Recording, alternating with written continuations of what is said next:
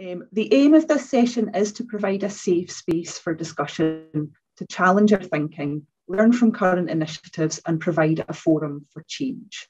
We will be discussing some sensitive topics. What we're looking for today is people to collaborate through spirit of open curiosity. People making antagonistic comments or questions may find that those are not responded to by myself or the panel because we are looking for productive, open, and welcoming conversation. So we're going to move through into the first part of today's session, which is three presentations from our panelists. Following the presentations, we will have discussions about those presentations. So as I said, put comments and, and questions in the chat as they go through. We'll then move on and discuss the results from the Jamboard and the Mentimeter. Our first presenter today is Rachel Minott. She is a Jamaican born artist, curator, and researcher. She's currently Inclusion and Change Manager at the National Archives and trustee of the Museum of Homelessness.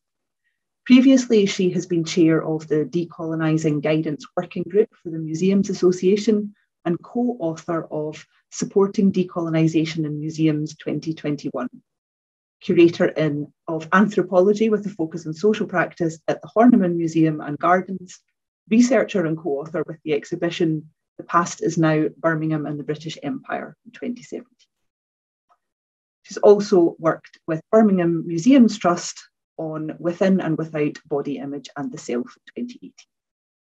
As an artist, she has exhibited in the fourth Ghetto Biennale, Biennale, sorry, it's always a word I struggle with, in Port-au-Prince, Haiti in 2015, the Jamaica Biennial 2017, and her solo exhibition, Thinking About Jamaica, at the Willesden Gallery 2019. Rachel is going to be reflecting on chairing the Museum Association Decolonising Guidance Working Group through the start of the COVID 19 pandemic along with co-creating a risk assessment for communicating potentially upsetting history and a matrix for inclusion of the archive sector. I'm going to pass over to you now, Rachel. Great, thank you very much. Um, so good afternoon. Um, as uh, Sally said, my name is Rachel Minott. My preferred pronouns are she and her. I am a mixed race woman with brown curly hair. I'm wearing glasses, a headset, and a signature of mine, some fabulous earrings. Today I've got some lightning bolts. Um, so uh, thank you all for your time and energy on the last day and the last session of what has been a thoroughly engaging and challenging in, in the best way conference. Um, I hope my offerings will prove useful in our continued collective learning. Uh, so for my presentation, I'll be running through some of the considerations when co-creating guidance for the sector, reflecting on museums and archives, um, with a focus on specific questions that arise when dealing with equality, diversity, and inclusion content, and the processes informed by the ethos of these pursuits. Um, so I was the chair of the Decolonizing Guidance Working Group um, for the Museum Association between 2019 and 2021, and I'm currently the Inclusion and Change Manager at the National Archives in the Archive Sector Development Team, a position I also held since 2019. Both of these roles required collaboration during the changing world of the COVID 19 pandemic, as well as the heightened discourse on racism and anti racism that were inspired by the murder of George Floyd. These collective traumas made more of us aware of the imbalances in systems of care and justice across marginalized identities. The resources I will discuss today had the intention of activating people to pursue equality during this time from two very different angles. Um, so for this session, I will be reflecting on uh, co-creating the risk assessment for communicating potentially upsetting histories. I am not going to talk about the matrix today because uh, we've got quite a short session and that plus the Museum Association reflections would take up quite a bit of time. Um, so the risk assessment should be published very soon. Um, its aim was to unpack the real and perceived risks associated with using records relating to marginalized people, to raise confidence through education on ideas linked to upsetting histories, and to equip services to work thoughtfully with these records to make them more visible. This was co-created in partnership with the inclusive art practitioner John Slay, um, as well as in collaborative workshops with sector professionals. The second guidance document I'll reflect on is a supporting decolonizing a museums guidance for the Museum Association, which intends to educate on decolonial theory, advocate for its application, and provide guidance to start this work in museums. This was co-created with 13, a 13-person working group and was informed by stakeholder consultation and surveys. As this is a short provocation before we move into the more interactive elements of the session, I will focus my reflections on these documents uh, through a few key ideas, which I will move through quite swiftly, but I'm happy to return to in the discussions. So number one, when doing this work, it is essential to consider power and privilege baked into the processes and perspectives that inform your guidance. Understanding where it is within your power to co-opt and silence and mar silence marginalized voices even if you have good intentions. For example, an early consideration of the supporting decolonizing work was to not define decolonizing as if we had just discovered it, um, as if it were a new idea and not just an idea that some people were new to. With the risk assessment as the National Archives, we're always aware of um, providing guidance to the sector, when providing guidance to the sector, that our position is unique and the resources available to us and the position and our position to government creates a unique context which cannot really be re- replicated in other services and so cannot be baked into our guidance. So we have to work really hard when we include ourselves in the guidance um, to provide it as an example of in practice without an expectation that this can or should be replicated. The second key idea to consider is who's involved, who's it for, and who is this about. There are key there are some important slogans that activists use when um, talking about this sort of thing, such as "Nothing about us without us," that acknowledge the need to work with people who affect who are affected most by the issue that you're facing, or who have the deepest insights into this work. Get the right people at the table first, and if you have been invited to sit at a table that you feel alone in your role as representation, or like there is insufficient diversity in thought and experience around the table, challenge this request another seat, use your privilege in being present and invited to widen the table. For the supporting decolonizing guidance, that meant having representation from different disciplines within the museum sector at the table and consultation from stakeholders who did not operate in these spaces full time. The working group was made up of practitioners at different levels and specialities who used decolonial theory to inform their work, as well as a mix of geographic locations. This allowed us particular reflections on the urban versus rural dynamic to this practice, which was really fruitful and important in our explanation of relevance. Similarly, for the risk assessment, we worked to find representatives from archives of different sizes located in different regions um, and within different sectors to have a comprehensive idea of what upsetting histories could inform this work. The third idea is scaling advice. Is it applicable and is it relevant? For both pieces of work, we needed to ask how these guidances can be used in entirely volunteer run or sole worker contexts. It meant addressing critiques that decolonizing is not relevant to our context and acknowledging that we cannot assume upset, and so noted that these were all potentially upsetting histories. Often this means being less prescriptive, embedding inclusive principles that allow guidances to be made bespoke to each context and reality, and as a large organization to offer support and further resources to users alongside the guidance. To do this, the Museum Association have a decolonizing confidence and skills program, and the National Archive connects this work to a larger suite of inclusion support, documents, and sector support resources. The fourth idea is having a shared understanding.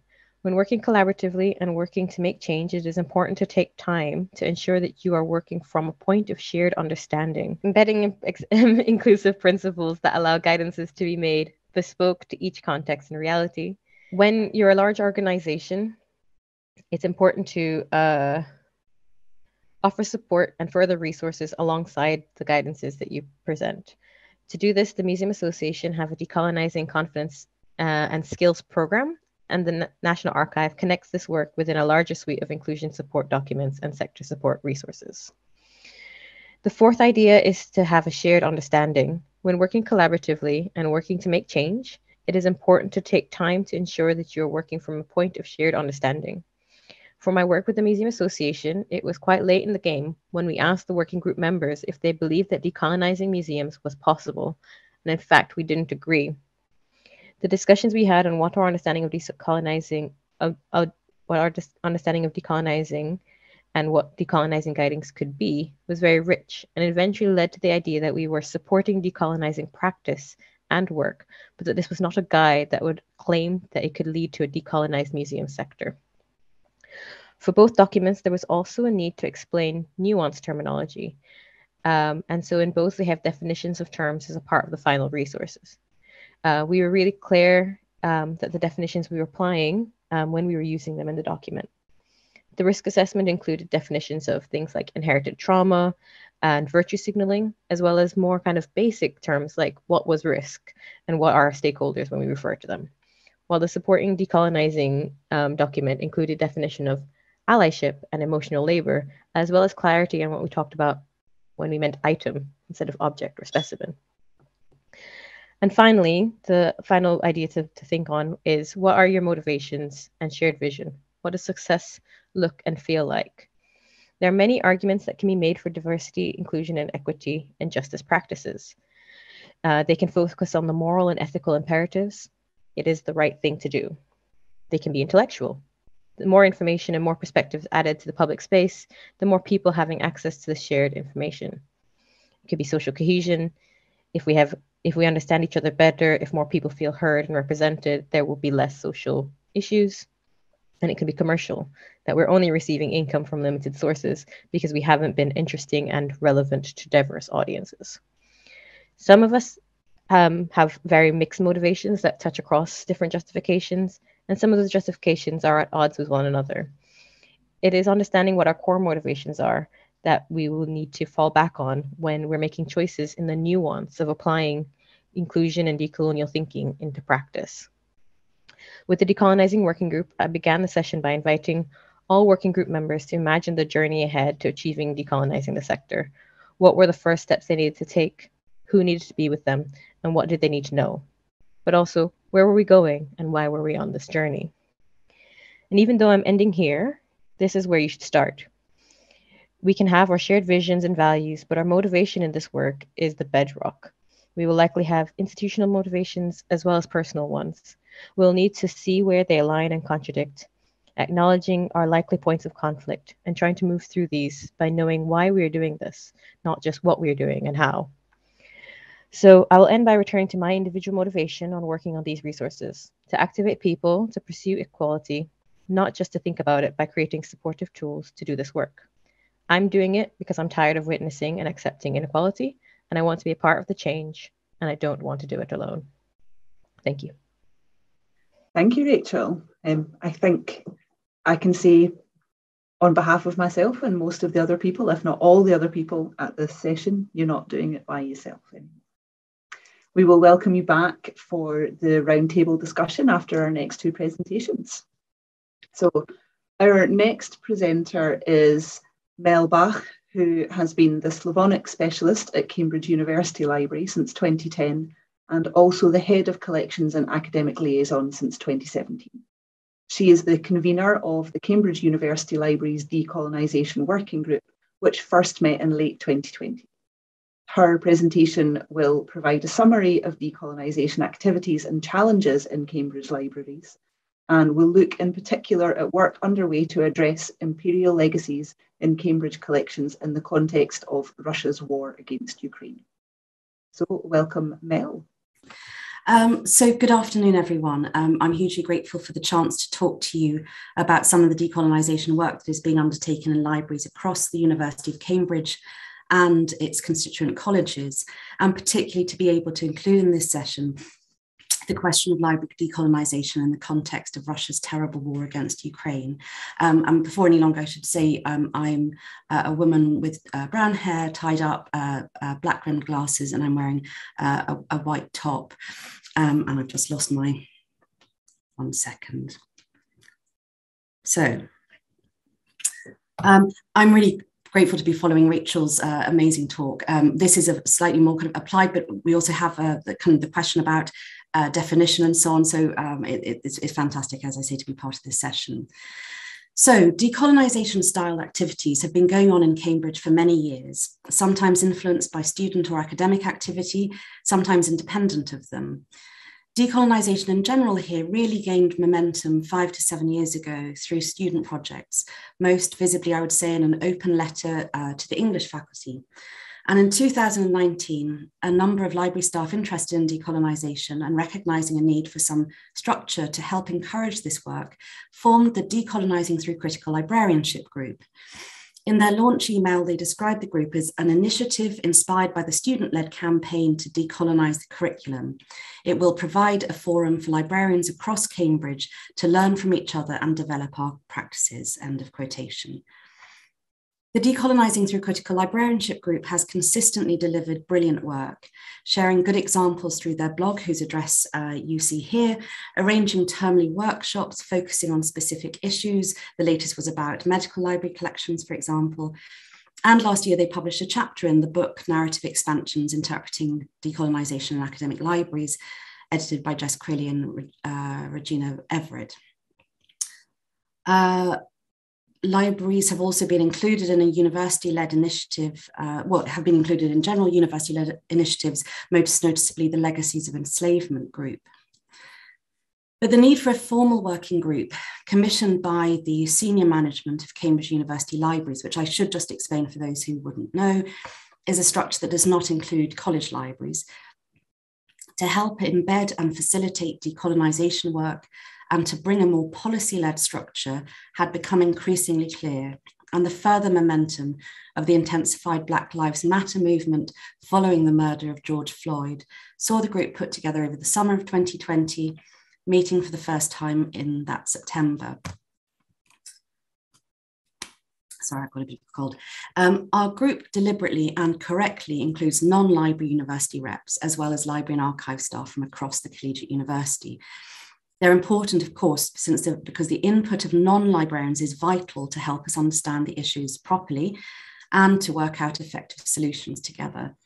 And among the librarians, I wanted to point out that we have dedicated college library reps to keep that conversation uh, and collaboration going. And we also have a dedicated rep from the Decolonising Through Critical Librarianship group, uh, we, with whom we have a very good relationship between the groups.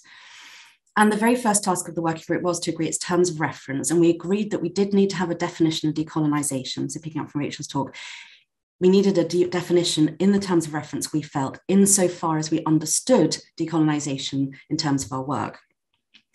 Um, so getting the definition drafted and agreed nearly, nearly did for me, but we did get there. And here it is. And in brief summary, that we see decolonisation as decolonial practice, that it's about identifying and critically engaging with colonialist related power structures. It's about transparency, contextualization, facilitation of access, working with university decolonial activities, and broadening collection development. I also want to show the paragraphs that follow the definition uh, particularly thing in italics, we recognise that while the primary colonial legacy in Cambridge libraries relates to the British Empire, Cambridge also holds material relating to other colonial powers, past and present, and that this is also part of our decolonial focus. And that wording was uh, came back because I was particularly keen to ensure that non-British colonial legacies should not be overlooked when we hold such extensive collections around the world. And of course, Russia's full-scale invasion of Ukraine is a devastating reminder of these other colonial legacies. Putin has openly compared his so called special military operation against Ukraine to Peter I's wars of expansion, or more specifically, wars of reclamation in Putin's narrative. In the library context, decolonization work to address the colonial past and its violent embracing in the present involves many areas of library activities. So this is kind of the very applied bit. So I would like to go just through a few of these ideas uh, in terms of Ukraine, but first of all, putting them in the context of work already done or underway in Cambridge, chiefly under the auspices of the working group that I convene and or the Decolonising Through Critical Librarianship group. So here's what I've lazily labeled as general examples, um, and the next slide will have the same headings.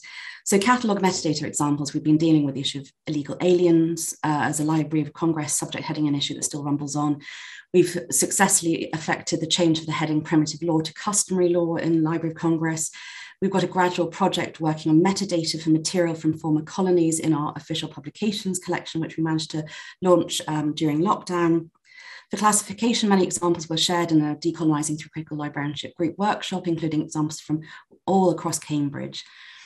In terms of collection promotion, my department wrote a series of content focused blog posts about anti racist material in English and European languages.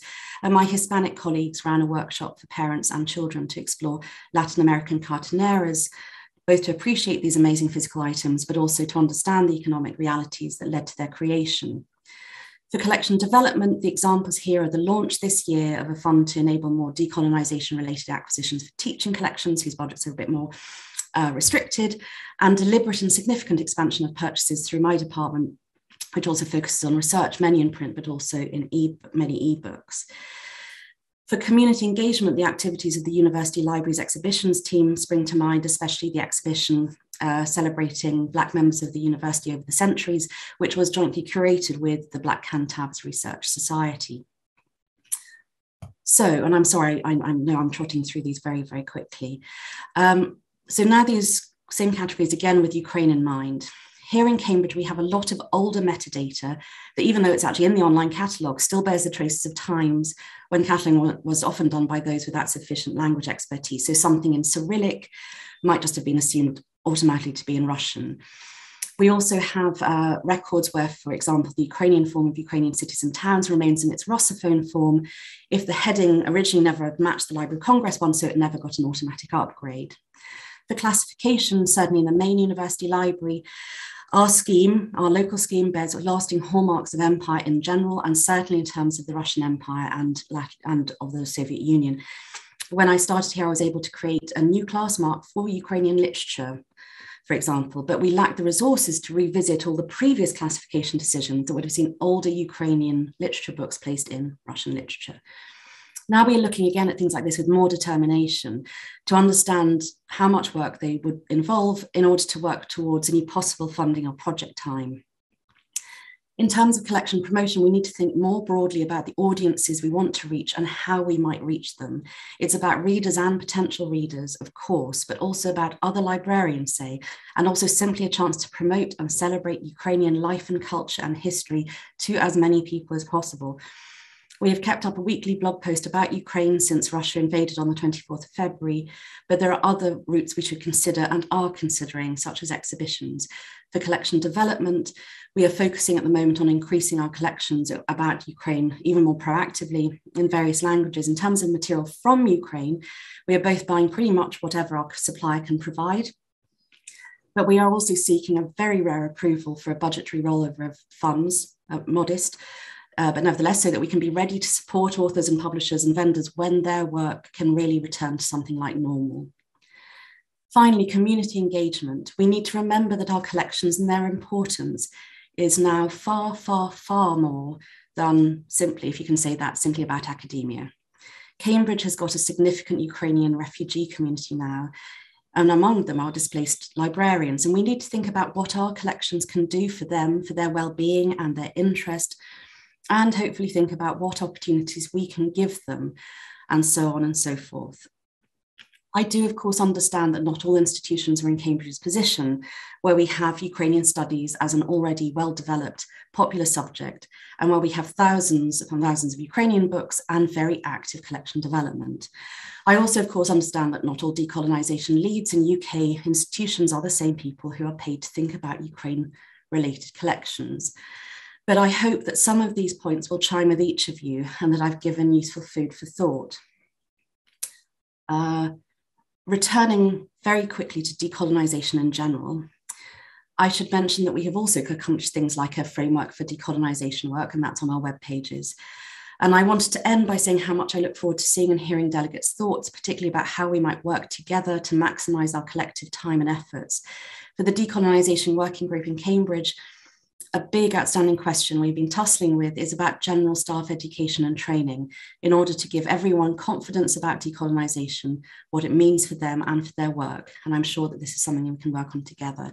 And my last slide is a, a link to a blog post I wrote about Ukraine and decolonisation, but you will see that in the very um, web address that we have an issue ourselves in terms of terminology, because European collections is not exactly what we do in our department. Uh, but thank you very, very much indeed. I hope I'm overrun.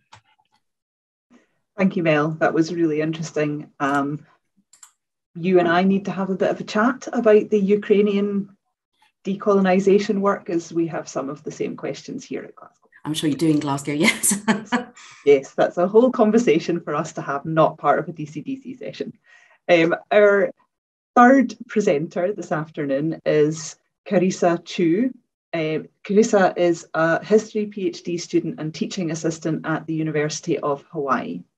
After completing her undergraduate in English literature and history at the University of Edinburgh in 2019 and her MPhil in world history at the University of Cambridge in 2020, she undertook a nine month equality, diversity and inclusion internship at the National Library of Scotland. She's currently working freelance on two inclusive cataloguing projects with the Imperial War Museum and Glasgow School of Art. So from September 2020 to June 21, the internship at the National Library of Scotland involved reviewing the development of their non-discriminatory library cataloguing practices through a funded equalities, diversity and inclusion internship. Carissa will share the rationale behind her inclusive terminology glossary, which provides heritage professionals with a tool for identifying and, when appropriate, replacing discriminatory and outdated terminology in catalogue records and beyond. Uh, I'll hand over to you, Carissa. Thank you. Hi, thank you for the introduction. So I'm Carissa Chew. I'm a mixed race woman of South Asian and white heritage. I have dark hair in a ponytail and I'm wearing a lilac top. So, as Sally mentioned, I completed a nine month EDI internship with the National Library of Scotland last year, in which I was focused um, on the task of inclusive description. Um, and within the scope of this internship, I was researching practical ways to address the issue of discriminatory language that appears not only in catalogue descriptions, but also across digitized collections, online learning resources, exhibitions, and other kinds of web features. And the main goal of my internship was to help draft a policy that will govern the way that the National Library of Scotland manages its descriptive practices over time. Um, this policy is not yet published, um, but I have adapted a more general set of 10 principles for inclusive description work that I am able to share today, which establishes the framework in which reparative descriptive work should take place um, and it sets the background for the inclusive terminology glossary that I'm also going to be talking about. So, firstly, acquisition or providing access to an item does not imply endorsement of any statements or opinions contained therein. So, I come to this work as a historian who uses the archives to study the history of the oppression of mixed race people in 20th century East Africa so I always start with this principle for the sake of emphasizing that materials that contain discriminatory language and prejudiced opinions are still historic materials that need to be collected, preserved, and studied, however uncomfortable they might make us feel. So it is the duty of the cultural heritage sector to accurately maintain the historical record. It is not appropriate for cultural heritage professionals to alter or censor the original historical record including language contained within collections, published titles, and official names. Cultural heritage institutions have a responsibility to meet modern descriptive standards and describe and interpret materials in a manner that is accurate, respectful, and responsive to the communities who create, use, and are represented in their collections.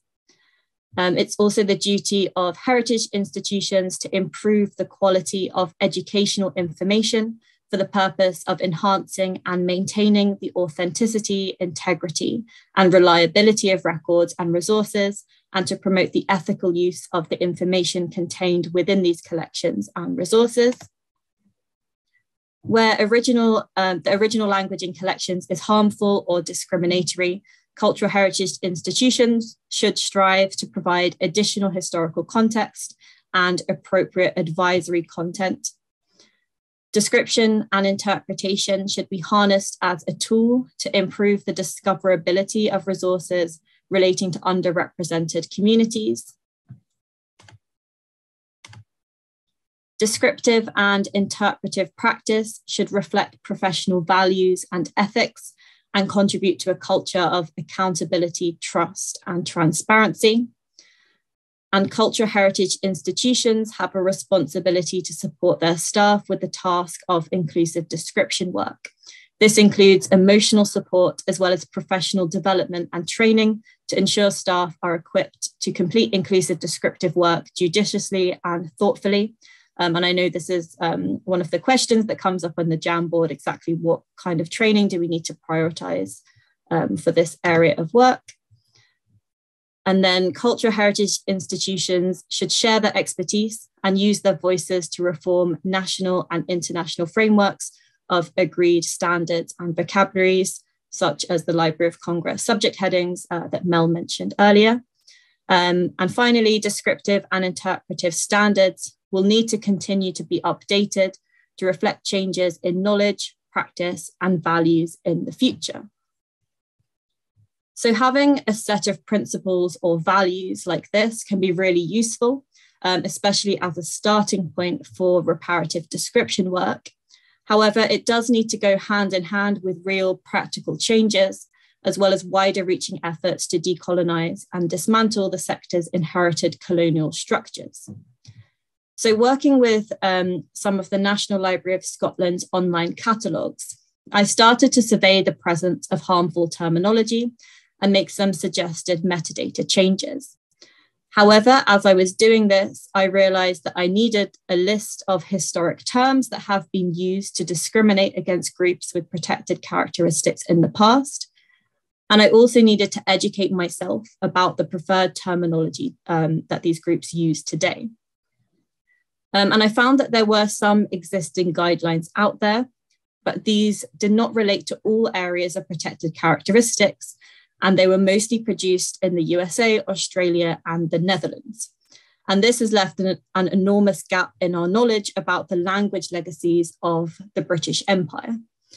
So, to properly survey the National Library of Scotland's online catalogues, I needed not only some understanding of these different histories around the world, but also an in depth understanding of the language of race, diaspora, disability, and LGBTQIA plus issues in Britain and its former colonies, as well as specific local and regional terminologies um, and the differences across the UK. So, this is why I decided to create the Inclusive Terminology Glossary which is um, is now available on Google Drive. Um, so hopefully the link um, is going into the chat. So anybody can contribute to it and help to improve the quality of information that it contains. Um, in its current form, most of the information has been collated by myself using mostly online resources, although a couple of the sections have been subject to review by academics with expertise in relevant fields of history. So the glossary is designed with cultural heritage professionals in mind um, so it includes notes on time periods in which particular terms were used, if it's known, and it also contains archaic spellings and misspellings um, to help with the task of identifying discriminatory language and harmful materials across catalogues and collections, uh, whether you are working to add content advice or content filters or make amendments to your metadata um, or other forms of description um, across websites. So it is split into different sections, um, which um, is in some ways problematic because it enforces these divisions um, between different groups of people. Um, but it's kind of for ease of use, the document itself put all together loaded too slowly. So I had to split it up somehow, and it kind of reflects um, the ways that a lot of collections are still organized. Um, so there's sections such as African American history and the Atlantic slave trade, Indigenous peoples of the lands now known as Australia, uh, disability history, the history of anti Semitism, and LGBTQIA plus history. Um, it does not necessarily provide an easy solution. It's not always as simple as replacing one term with another. But what the glossary aims to do is provide the historical context about um, this terminology so that we can make better informed decisions about the language that we choose to use. Um, and it can also be used more generally by both heritage professionals and users to help locate materials relating to marginalized communities in the first place. Um, there's just a few examples on the slide of some of the terminology that we changed in the Archives and Manuscripts catalogue at the National Library of Scotland.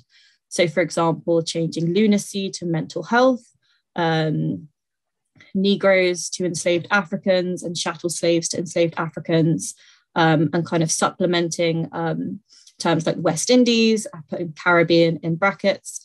Um, and one epithet uh, that we looked at in quite a lot of detail was the term Orientalist, uh, which is an incredibly vast and vague term um, used to describe scholars or personnel who worked in any part of East Asia, South Asia, and the Middle East. So we tried to make those terms more specific.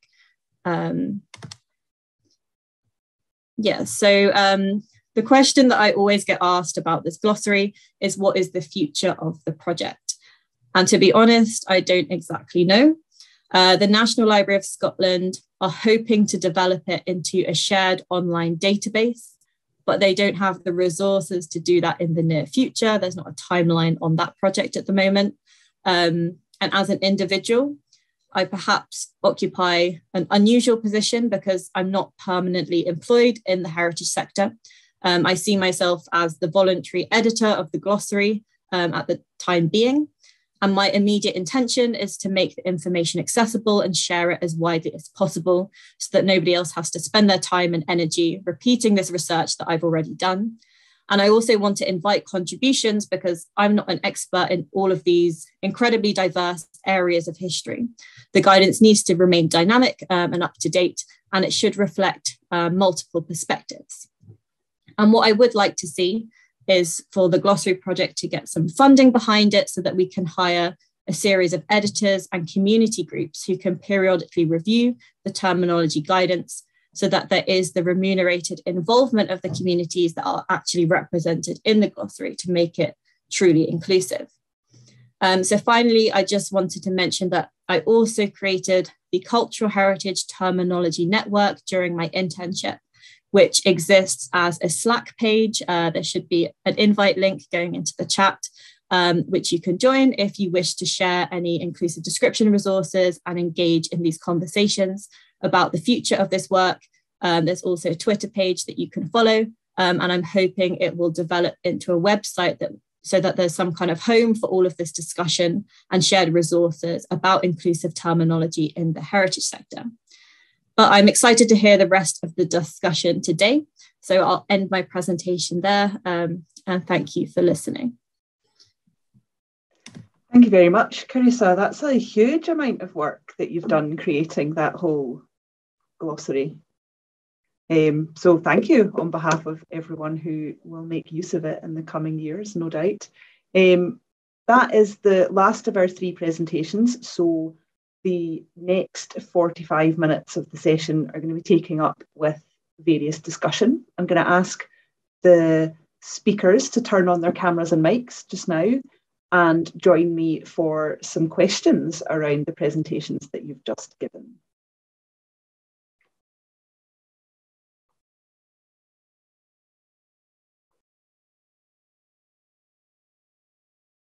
We do have a couple of questions sitting in the chat.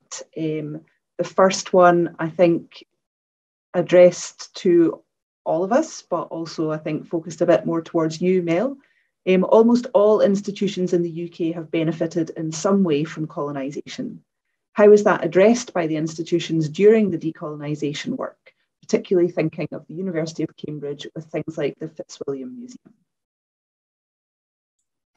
Shall I, shall I take that one first then, Sally? Um, yeah. Um, so yeah, it's a really good question. And I think, um, I think probably the best way I can answer it uh, in terms of Cambridge is by putting a couple of links into the chat, Catherine, because um, there's uh, the, the legacy of, of enslavement um, uh, uh, group has been act is, is a group for the entire collegiate university because those benefits have been felt by university institutions, but also by some colleges.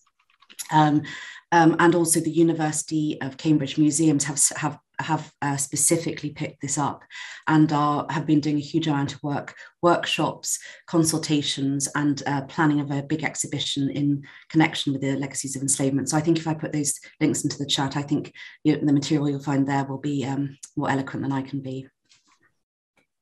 Thank you, Mel. Um, Rachel, Carissa, have you got any thoughts on that, or is it a bit more broad than the work that you've done so far? Um, no, I think it's it's it's key in the idea of relevance. Um, so when we were working with the decolonizing working group, there was a lot of questions around kind of organizations that didn't feel like they had an ethnographic collection, um, feeling like this might not be work that's relevant to theirs. So we had to do a lot of thinking about what does decolonizing mean and how could it be relevant into different contexts.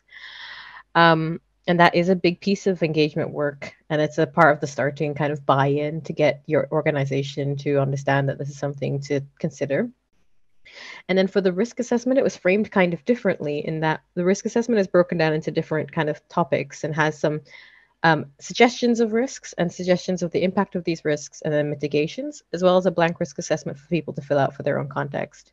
But one of the subject, one of the topics is institutional reputation, and one of the risks identified is that people outside of your organization kind of talk about the legacy or history of maybe misdoings or um, it was more general than we didn't frame it entirely within the decolonial context, but it was, you know, histories of, of your institution that might be problematic.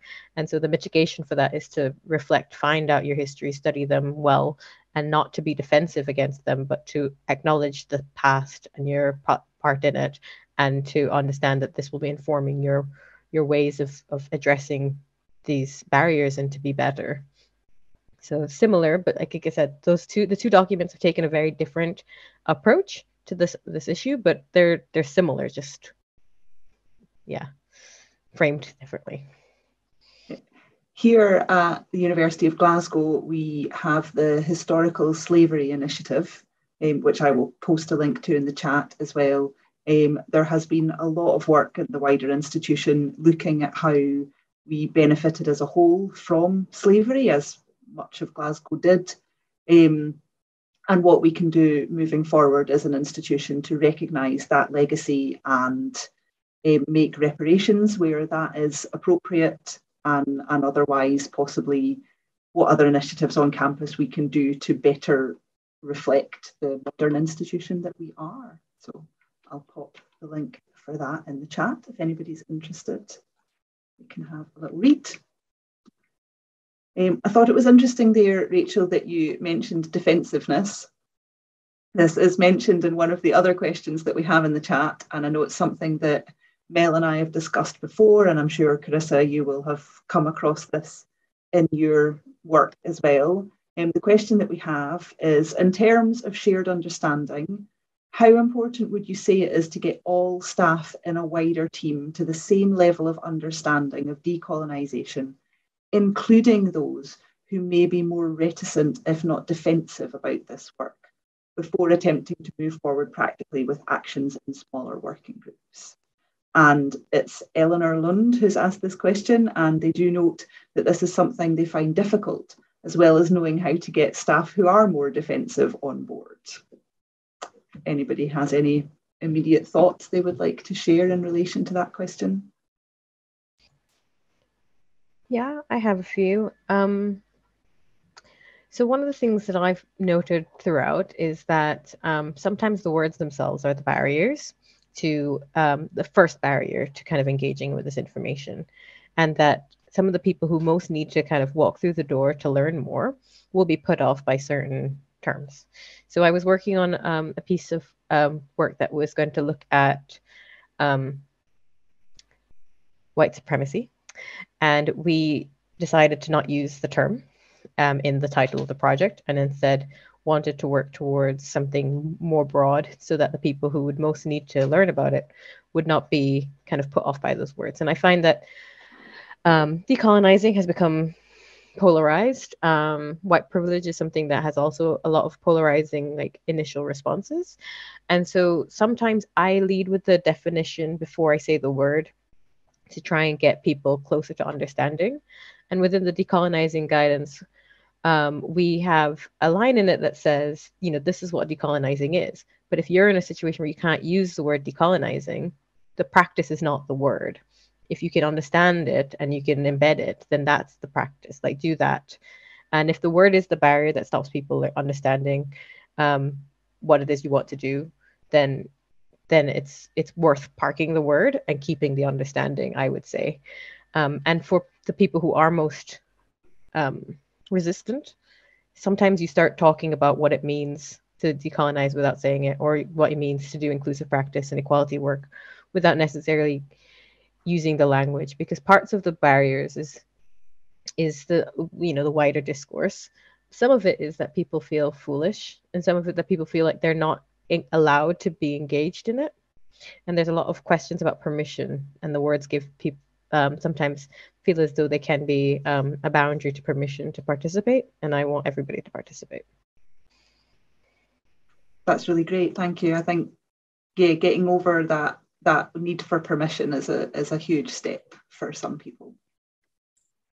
May I add a little bit as well, Sally? Certainly. Um, yeah, because I think because as you say, we've talked about this before in the kind of set, separate group leading up to the session that that um, I mean, for me, I think that that because a lot of the activities that have certainly happened in Cambridge, um, in the, the, workshops that have been done, for example, by the Decolonising Through Critical Librarianship group, it is essentially a self-selecting audience. It's people who are already interested and feel that confidence about feeling that they can engage, and also just even the confidence to feel that they can ask a question.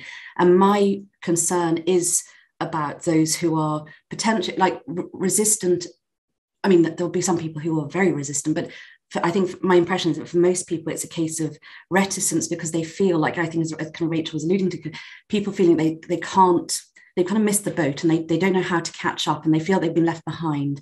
And so for me, for for, for all staff training, which we also say we, we're, still, we're still kind of working on, there are um, two things I really think it is important for as many people to do as possible because otherwise you will just widen that gap and and i don't want reticence to turn into into a stronger feeling like it's it, it's something that most people should should be able to understand in terms of their work and feel hopefully excited about.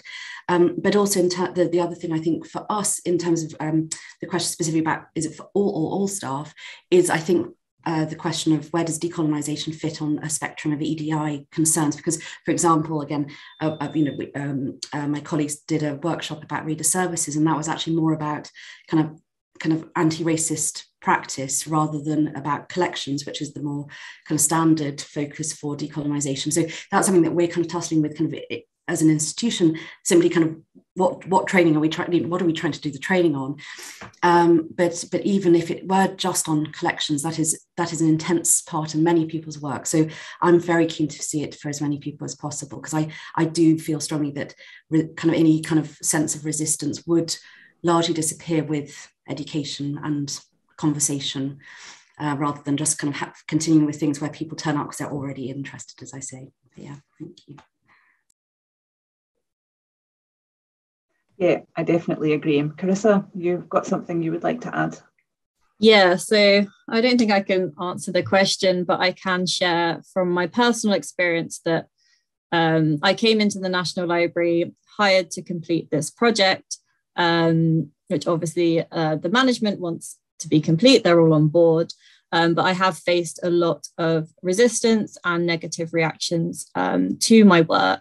And obviously, coming in as a woman of color and as an intern, um, there was a lot of emotional labor involved because not all staff were in the same place um, when it came to that. So I think that's just something to be aware of that um, who's going to kind of bear the brunt of that resistance um, and how you can kind of I don't know, kind of bring everyone up to the same level and kind of prevent that from happening.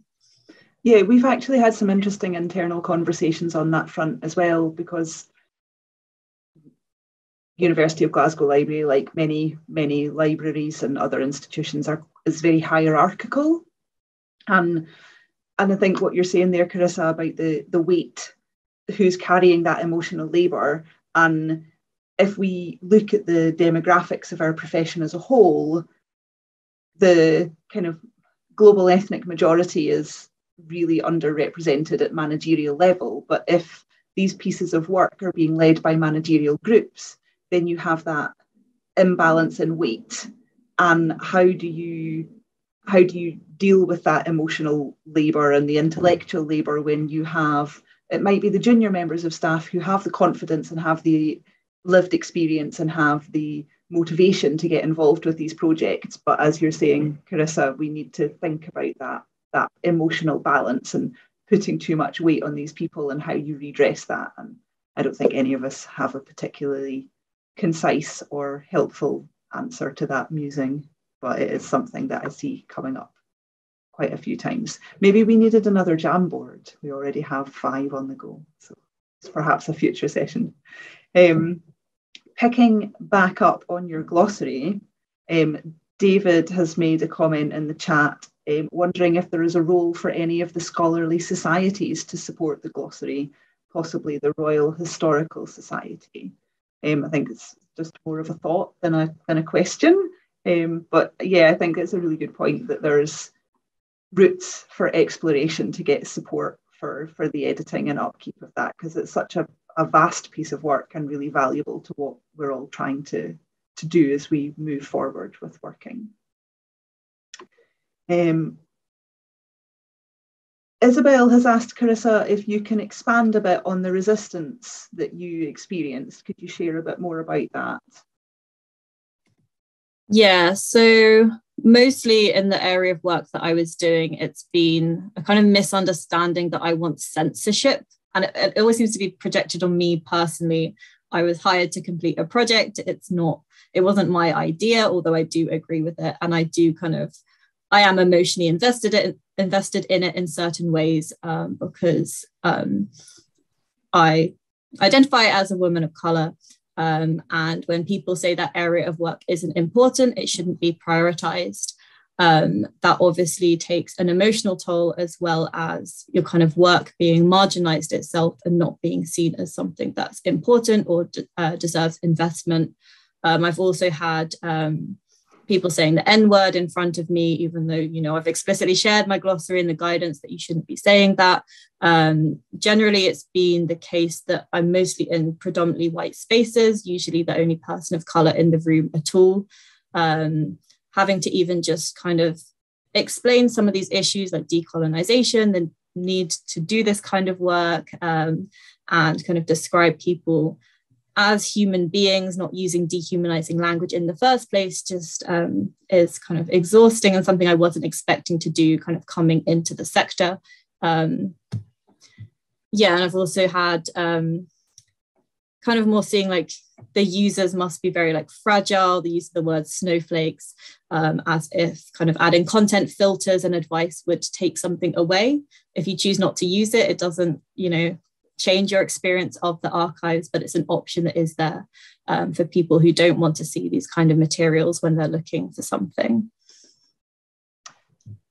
Thank you. I just, I just, want to echo that this is not an individual issue because um, I have also experienced that throughout different stages in my career.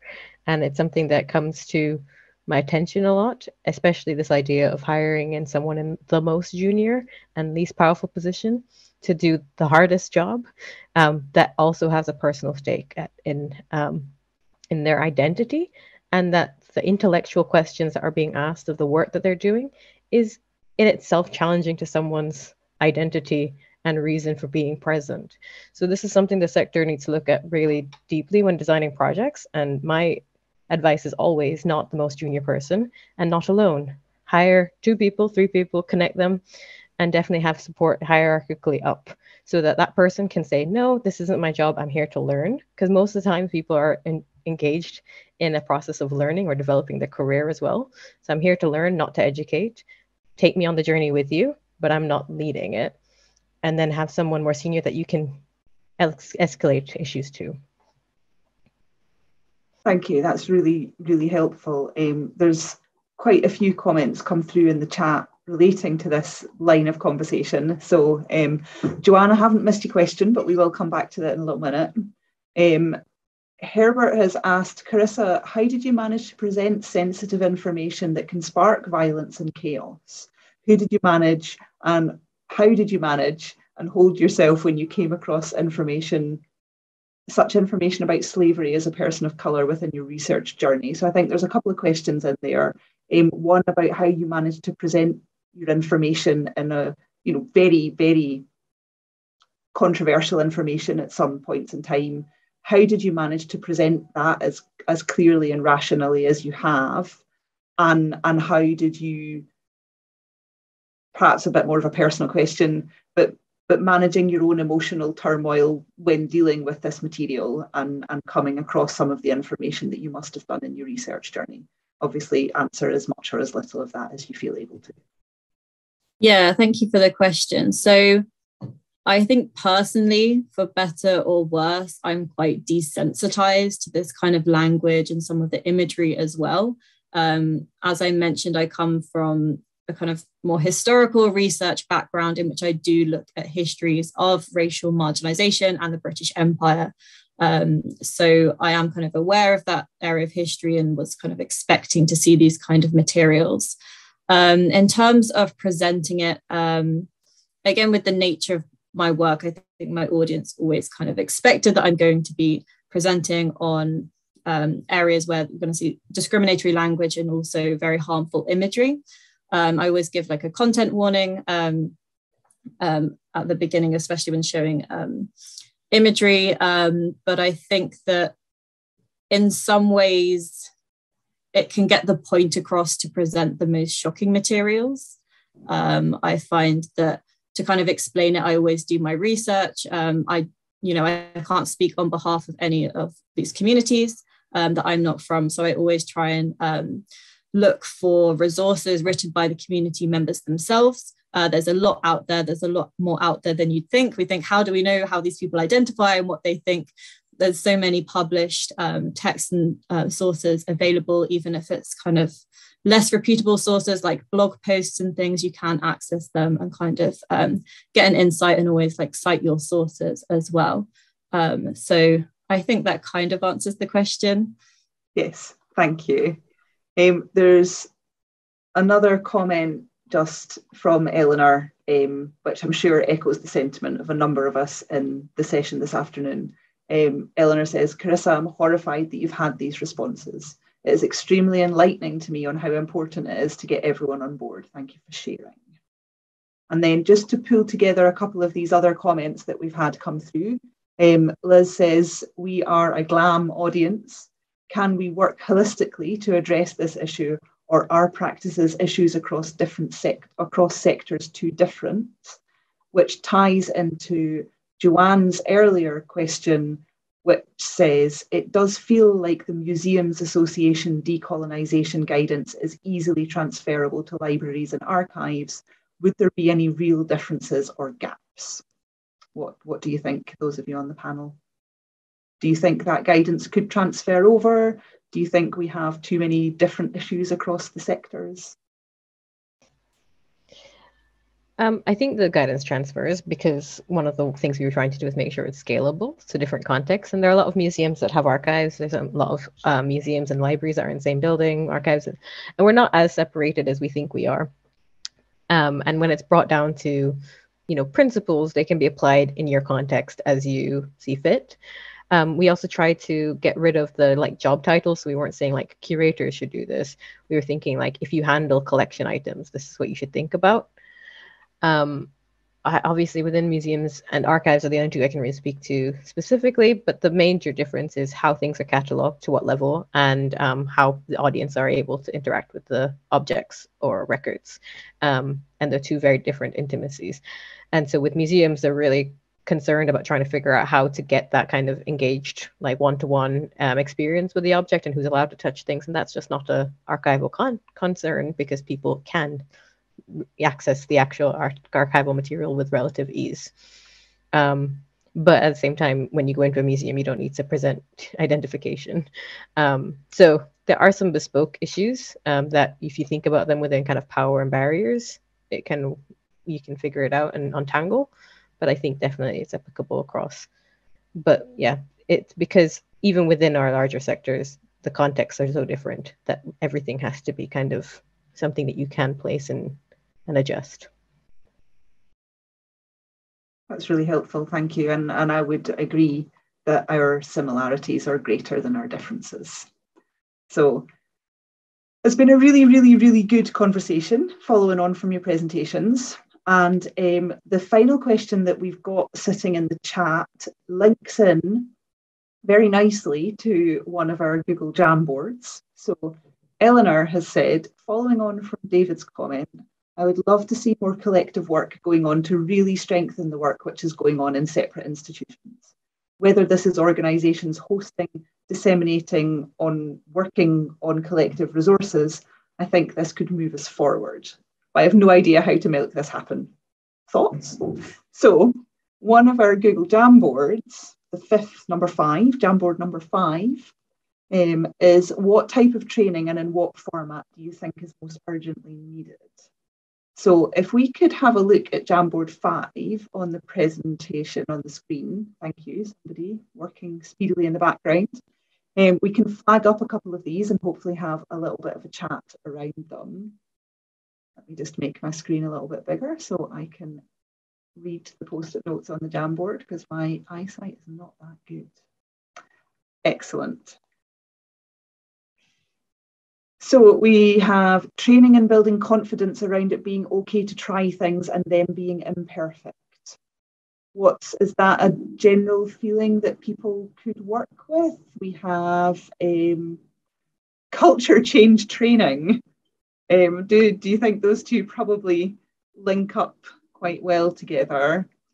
And then we have a comment about training on decolonisation 101 help us to think about what this means, struck by Rachel's job title, diversity, equity and inclusivity. We are not fixing a problem, we are developing a new way to practice, which is, and I can't read the whole comment because it's too large. Someone's trying to do some Jamboard magic for me. Thank you, whoever that is. So while while that shuffling and is, is going on, um, are there any thoughts from you three on our panel about the sort of training which you have encountered as being relevant in your institutions, or if that training could be a way to bring us together to start to share the work that we're all doing instead of kind of duplicating a bit. There you go. Are we developing a new way of practice which is complex?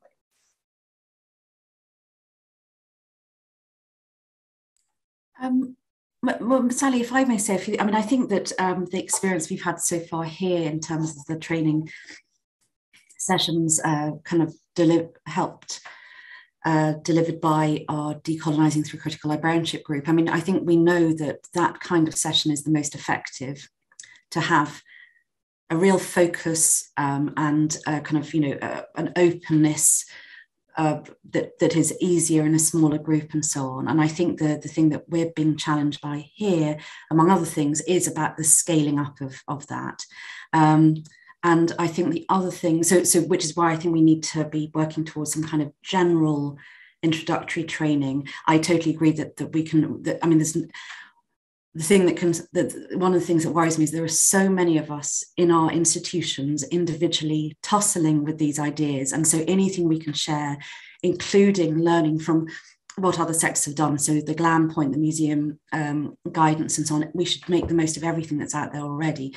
Um, but i think um, ideally have you know i think i think practically here we need to try to to to to develop whether kind of nationally or or, or locally some general training that then also helps managers continue those conversations. So it doesn't just become a kind of one-off thing that you attend but it becomes something that you understand more and more and more through discussions locally which it, so kind of trying to get that workshop thing in a gradual way. But i think the other thing i wanted to mention is that i think it's important that um, we do remember that it's not like if we take uh, kind of uh, i suppose the more uh, museum terminology that it's training that's not not just for a curatorial level. This is we this is this is an important matter for for all staff. And as i say i mean uh, kind of it, you could say there are very specific stuff depending on where on what we're concentrating on but that it's not something that becomes something that only staff above a certain grade are involved in. It's it's got to be open to everyone and so that's that's the other thing I suppose on my mind. I guess that that taps into that one post-it note just slightly off center that says culture change training. I mean, that's really what, what we're talking about, isn't it? We're looking at our culture, we're looking at how we've got where we are and and considering whether that needs a shift. And I think recognizing that it does. Um, there's another comment on this board, which I think in the centre top, which links to the emotional labour comment as well, um, about somebody using reverse mentoring. Our senior leadership at the university received this, and it has led to a lot of positive change. And I'm wondering if that links to the comment that says about considering emotional labour and what's being put on individuals. How can institutions support be given more appropriately guidance on appropriate framing? Do you think there's a place for reverse mentoring as an opportunity to kind of pass some of that emotional labour further up through the hierarchies in our institutions? The Race at Work Charter um, has reverse mentoring as one of their um, advice, um, their their main kind of points of advice, and it seems to be a really useful um, tool um, for kind of empathy building as a longer kind of awareness training and and some organizations they prefer kind of championship versus allyship, but those are all kind of similar ideas of um, getting someone to understand an issue that's outside of their lived experience, but to also work towards it being some, a priority for them to tackle. I just wanted to return to the, the kind of title of this the, this board though, and I think it's really important that we acknowledge that when it comes to this idea of training um, around this, that the university students who are studying kind of heritage degrees at the moment are learning a lot around decolonizing and community practice and participatory work. And so the workforce that's coming up now is a lot better informed at that point and I know I've done a couple of guest lectures around this kind of topic at different universities, and it seems that there's a there is a kind of it's built building into that curriculum. So it's interesting to think about the training that's needed for the established workforce that's already gone through training to retrain for some of these ideas and the sort of workforce um, training and understanding. Um, we sort of met people at where at the, we started to meet people at the, the where they are in terms of language. So that's why the risk assessment is risk, because that was the thing that kept coming up anytime we were talking about diversity, equity, um, and decolonizing projects was this perceived risk. And we wanted to acknowledge it and make it real to say, okay, what is the risk that you think it is? Um, and if, and, you know, what's the potential impact and how do we mitigate it? So we're not just being, you know, risk averse, but we're also not being kind of risky in our behaviors. We're actually understanding it as something that we need to, to pursue thoughtfully. Um, but I think more bespoke training rather than like the general um, kind of diversity training is tends to be too um, light touch and starts back at zero. And if and if we're assuming that our workforce is not entirely white, it can be quite difficult when you're always being brought back to zero into the conversation that you're quite um, ready to have a more sophisticated engagement with. Yeah, you start to wonder where the next step is. Yeah, and it's it is kind quite jarring when you are a person of color in training that's clearly not meant for you. Um, that um, that's just an experience to also be mindful of. But these are the experiences that a lot of the time need to be shared. Um, if we could move on to Jamboard number two, which is uh, four, sorry, I'm losing all my numbers in different places. Jamboard number four, sorry, which is about recording and sharing good practice because that is something that we're really interested in in learning about. I know um, personally I'm on three different working groups which which tip their toe into decolonization. I'm sure many other people are in a similar place. Um, so we're looking at the best ways to record and share good practice. And I think a decolonization network. So we are sharing work, coordinating activity, and not reinventing wheels. That taps into a large part of your glossary creation, Carissa. You were saying that you didn't want people to have to duplicate that work. and I think that's that's a huge thing that we all see is there's a lot of this activity going on at different institutions and it isn't as open and, and public as as your glossary. Do any of the panelists think that this is the best way for us to go round, build, go forward, sorry, building, building on the work that's been done so far? Um, yeah, may I may I say something to that, Sally? I mean, I think I definitely think so. I mean, I think that that feeling of of um, having of that that's the idea of reinventing the wheel each time is um, when there is so much experience out there to learn from. And and experience is not necessarily it, does, it doesn't necessarily mean expertise because I mean I would ne- I, I would you know but nevertheless the, the experience that can help others uh, develop their projects. And I think that having um, you know ideally it would be lovely to have a, a kind of a, a, unified web resource that allowed you to kind of filter by area of library or archive work to, to see kind of brief summaries pointing to other places so you can just track what's been done because yes as you say with as carissa said like with with what she's done i mean it's an amazing amount of work and an amazing result. And could you know and the thought that others might be doing the same thing rather than looking at it and adding more just seems you know we've got to come up with a way of making sure we can share these things as as as as, as much as possible because I think for you know something that we've been kind of touching on a little bit has been um, the fact that for that for a lot of people involved in in decolonization work, it's often on top of other jobs. It's something that is kind of can be seen as an add-on when it should be given you know it should be given more time. So the thought that people haven't necessarily got the luxury of much time for thought and action and still doing the same thing that somebody else somewhere at another institution has done seems seems in, incredibly um, counterproductive. So no no very specific solution, but yes, please let's find one. I think. Yeah, and I guess Rachel was saying that her framework is is designed to be scalable as well. So there are these pieces of work that people are doing, and we do we do know they exist, but I guess what how do we find that mechanism to share so how do we how do we promote what is already there? How do we make sure that that everybody is included in the inclusivity work? It's that's that's the hard bit, isn't it? Because there's so many different ways to reach people now. And as you say, Mel, everybody is so busy. How you know, how are we going to build on that? There's no answers. This is just the musing point. So um, I'm just going to return to a couple of comments that have been coming through in the chat while we've been we've been talking. Um, there's some conversation between Isabel and Eleanor looking at um, hostility that people have experienced from other organisations and companies, including the press. There's been a couple of pieces, both the Spectator and the Telegraph, about flagging up decolonisation work that has been getting done in, in libraries, archives, and museums um, being viewed negatively in those in those contexts. Um, I think that feeds back into some of what you were saying, Carissa, about the resistance that you experienced while you've been working.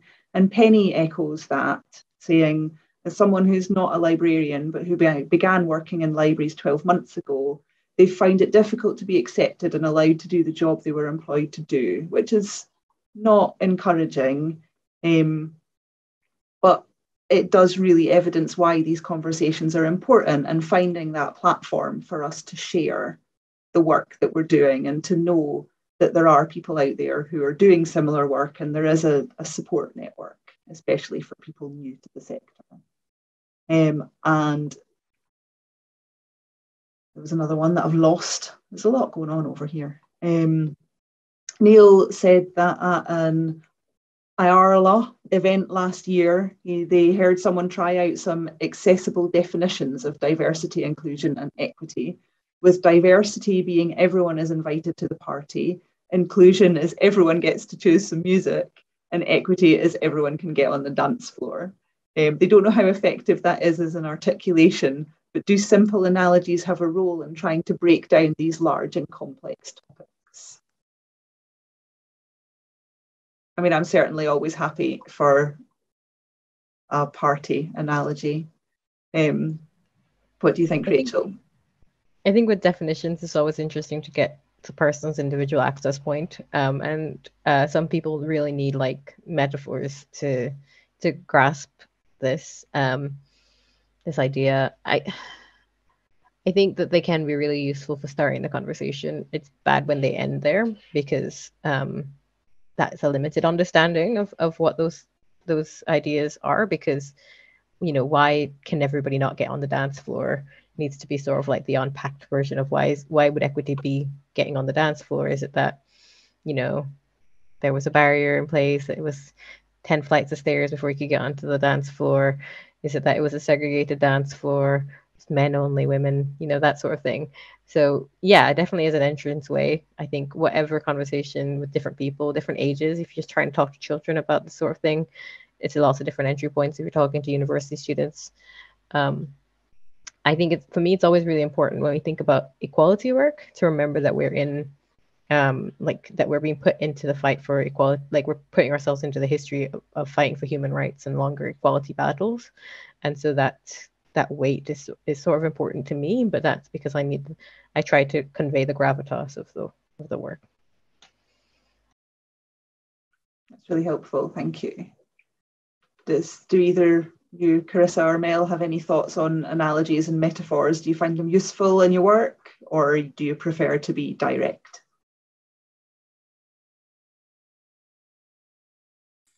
It's very thoughtful faces. I think I, prob- I probably prefer to be direct, but I recognize, I think one of the important things we all need to recognize is, is that our own preferences aren't necessarily, don't necessarily work for other people. um, so yeah. So that's useful food for thought for me. Excellent. And if we can just move on to Jamboard number three, we'll finish up looking at these. Um, I thought this was a nice one to finish on. People sharing examples of good practice around decolonisation from their institutions. So there is a lot happening. There's a lot of good practice, and as we said before, a lot of it is is how we make sure that everybody can find that information and and build that network or those networks. Um, so just to pick out a couple of these, there's a lot of links going on. Um, Dig Where You Stand, Sheffield Archives and Partners. Um, looks like they did something around Black History Month. ARE Diversity Allies work, especially the compilation of resources of potential relevant accessible form, is available online. Um, one organisation had a reading group session on Marilyn Clarke's chapter, Liberating the Library, what it means to decolonise and why it is necessary from the Narrative Expansions book that was mentioned earlier on. Um, another group had some Zoom meetings with curators on the subject of museums and how best we can decolonise our system at the same time without taking violent extremist approach, which I think is interesting. It's anything which is sensitive can be made out to be extreme, so we have to take care. And there's a good couple of other links kicking about there for people to follow up on later. And one link mentions the we here seek to provide a safe and supportive community for Black and Indigenous folks and people of colour in library information and science professions and educational programmes. So that's a very useful link as we've discussed more junior members of staff carrying that emotional burden. So just as a reminder, this session has been recorded and it will be made available on the platform and through YouTube in the next week. And the links to the Jamboard were at the chat at the start. I'll just ask if the Jamboard links can get popped in the chat again for finishing up. They will stay live. People can read through them. They can add a little bit more content. That would be very appreciated. And um, we have one final question for Rachel sitting in the chat. Um, building from your presentation, how best do we present the subject of decolonisation without being violent or passing negative comments or offensive statements to our peers? Not a straightforward question, that one for you. Um, so I normally present decolonizing um, alongside questions of anti-racism, and I would tend to compare the two, and um, I would explain why I like decolonizing as a guiding ethos. Um, so for me, anti-racism really centralizes racism. You really need to understand racism. You're unpacking it and you're challenging it. Um, but it means that at the center is um, is something very painful um, and something very real that we need to acknowledge, and it is really important work. One of the reasons that I love decolonizing practice is because at its center is creative reimagining, and it puts into the center people's voices, different people's experiences, and tries to move the dial and who has the microphone and who's able to kind of influence change. And really, what's very beautiful about decolonizing is that you can play. You can play with the ideas, go, you know, this is something we're working with. Does it need to be that? Let's play around with it, see what sticks, see what doesn't. Let's experiment. Let's get somebody else involved. Let's all change roles. Let's, you know, um, be active participants in understanding if the things that we have held true because they were taught to us through the process of colonization how many of those things still need to be true how many of those are ridiculous and how can we think of different ways of being together and it's so it's really participatory it's not actually that violent but it acknowledges violence is there but it encourages sort of creativity participation and play. And to me that's the best entry point into decolonizing practice